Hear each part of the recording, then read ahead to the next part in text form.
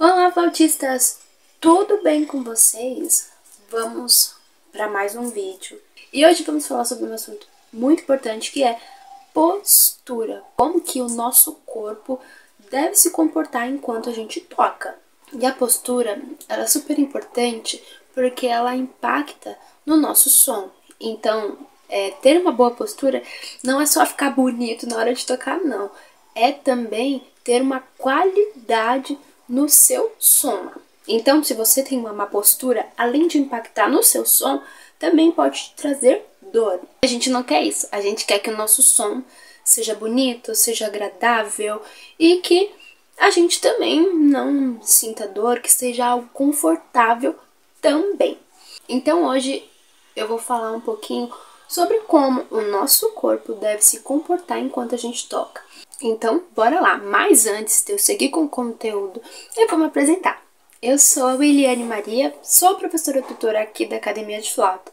Se você é novo, está chegando agora aqui no canal, peço para que você se inscreva no canal e também ative o sininho.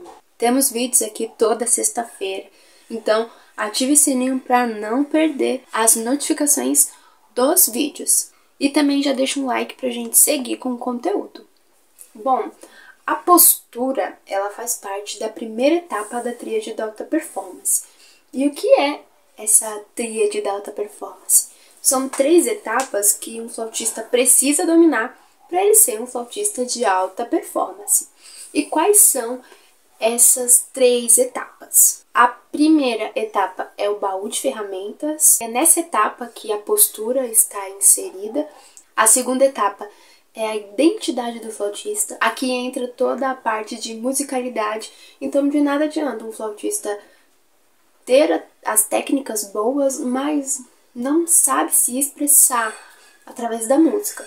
E a terceira etapa é o simulado de audição. Aqui o flautista vai dominar o palco. Então, de nada adianta você ter uma técnica boa, ter uma boa musicalidade, só que chegar no palco, o nervosismo fala mais alto acaba atrapalhando a sua performance. Então, é importante que o flautista domine essas três etapas para ser um flautista de alta performance.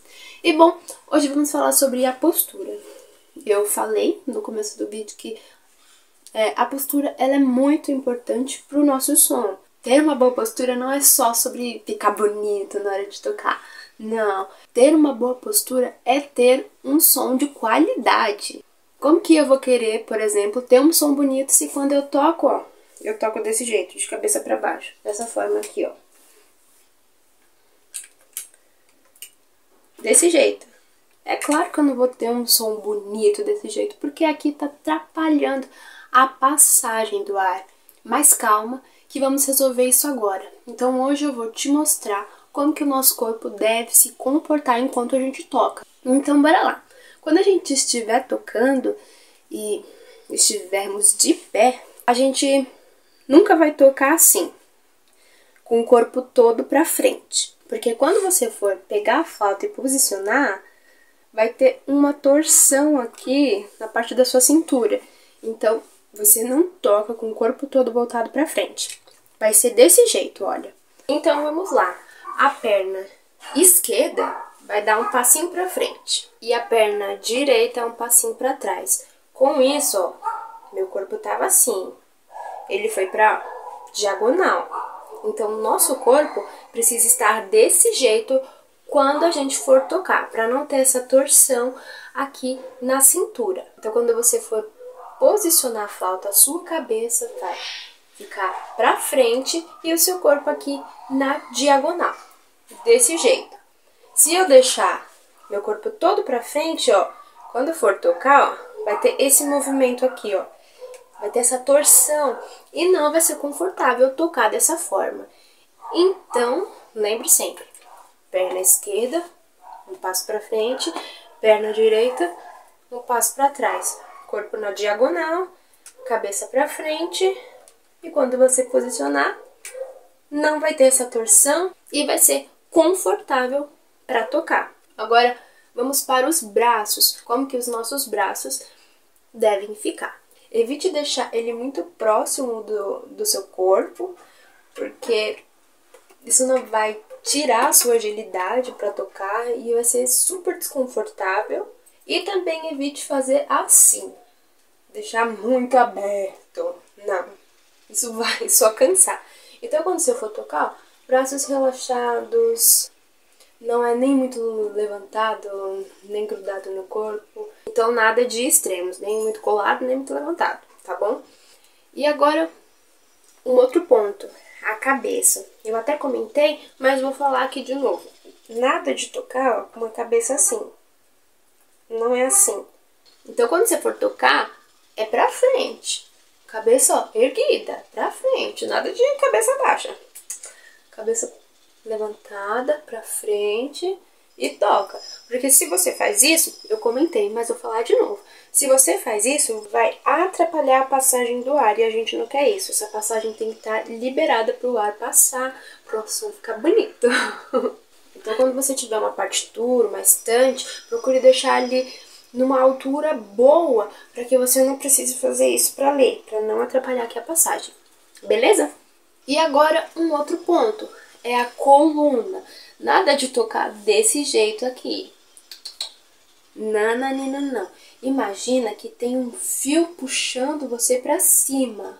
E é essa a postura que você precisa ter. Nada de, de costas curvadas, ó. Imagina que tem um fio que te puxa para cima e, olha, fica até bonito. Imagina você tocar desse jeito.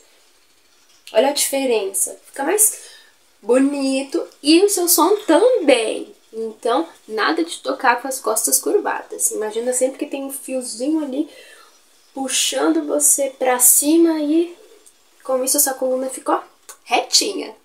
E tudo isso que eu disse vai funcionar também para quando você estiver tocando sentado.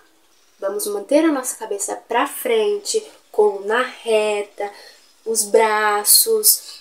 A única diferença é que a gente não vai estar de pé, vai estar sentado. E como que deve ser? Quando você estiver sentado, mantenha os dois pés lado a lado.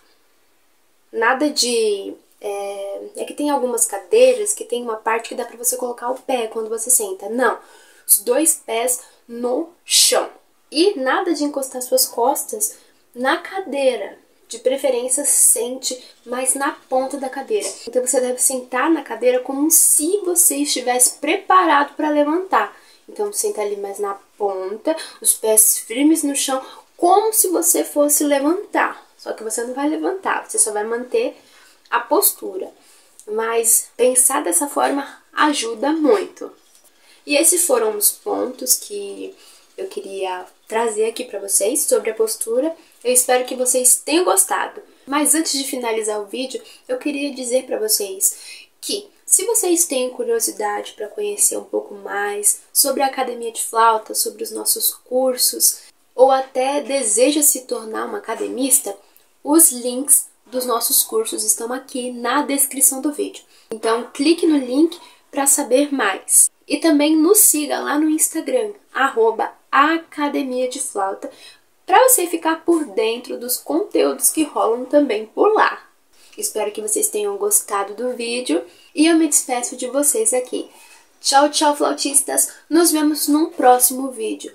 E não se esqueçam, flautistas, bora flautear, porque flautear é viver.